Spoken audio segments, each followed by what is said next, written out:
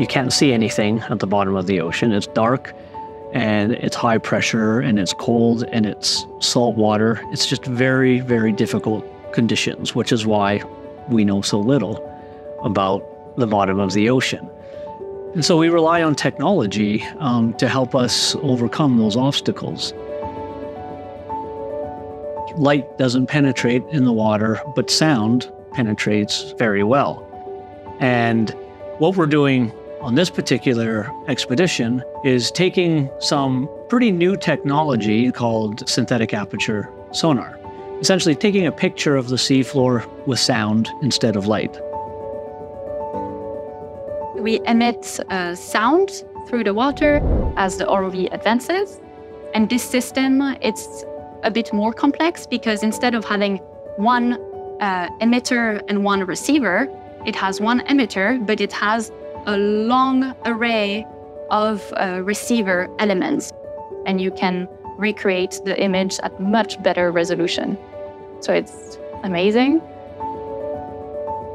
What we're trying to do on this expedition is, is take this technology and essentially apply it in a new way and see what information we can get out of this, what are its limitations, how it can be used, uh, especially in very rough terrain we'll be working in. One of the things that, that why that's important is you can start to think about how different geological, biological, oceanographic processes occur at bigger scales instead of just looking here and then maybe just looking over there and then trying to link all that. Mapping is not the only thing we came out here to do. I think about half of the time that the ROV is in the water will be mapping, and the other half of the time we will be collecting a whole range of different sample types. I did not know most people on this ship, and most of us were in very different disciplines, is going to be a fantastic learning experience, and it'll help all of us put our research into context when we get back on shore. If this goes miraculously really well, we're able to collect a lot of data.